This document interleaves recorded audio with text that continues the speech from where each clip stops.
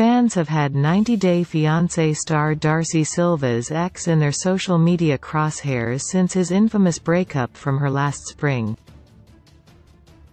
At the time, Tom Brooks openly admitted that he was interested in another woman, and he wasn't planning on sticking it out in their long-distance relationship. Nowadays, Brooks is busy creating a 007 James Bond persona despite the constant harassment from fans across social media. The British-born Tom Brooks has always pushed a sophisticated image, but it seems Silva may have been the first one to draw the most obvious comparison to him posing as Agent 007 from the James Bond film franchise. The couple was first reported to be together during a 90 Day Fiancé tell-all episode back in 2018. At the time, Silva referred to Brooks as her 007. Brooks himself has called himself a 007 clone but has faced a lot of backlash on his suave tuxedo Instagram posts for leaving reality TV's favorite star heartbroken last year. According to Newsweek, Silva told fans just after the breakup, This is not a war it's love. No one can break me anymore.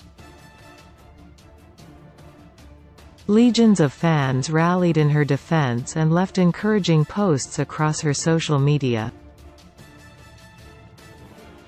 Meanwhile, Tom Brooks has received a lot of criticism. At the time, it was clear that he was cheating on Silva, but then he turned it around by blaming the end of their relationship on her by saying she didn't love him enough. More recently, Tom Brooks has been posting a lot of photos of himself with another woman.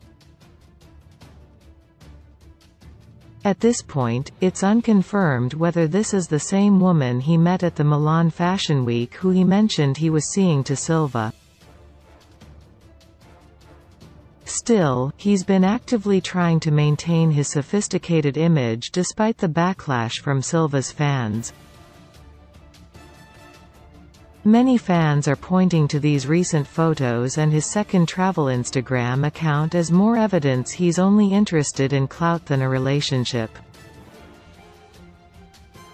The reality TV personality has yet to appear on any further episodes of 90 Day Fiancé or any other reality TV program.